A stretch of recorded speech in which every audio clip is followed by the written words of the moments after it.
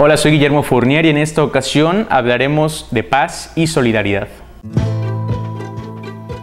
En cápsulas anteriores he mencionado reiteradamente la palabra solidaridad.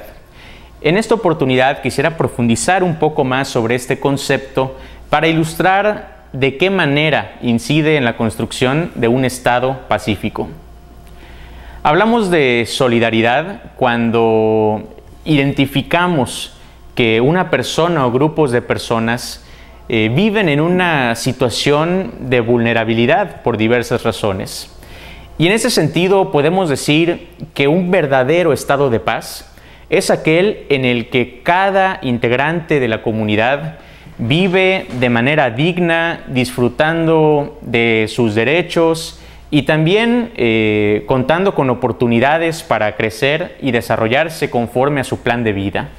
En ese sentido, cuando en una sociedad existe una desigualdad sumamente pronunciada, pues seguramente esto generará, eh, generará algunos conflictos y, no podremos hablar en plenitud de vivir en, una sociedad pacífica.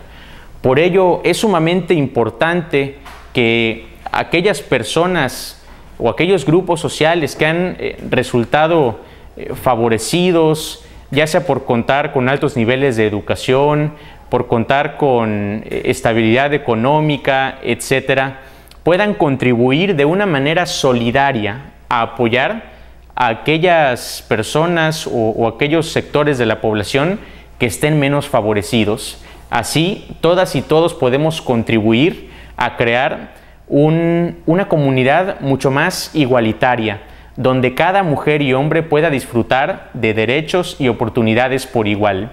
Solamente en un estado en el que exista auténtica igualdad y equidad, podremos entonces comenzar a hablar de auténtica paz. Por ello yo los invito a reflexionar en ese sentido y a que nos mostremos solidarios con base en nuestras posibilidades.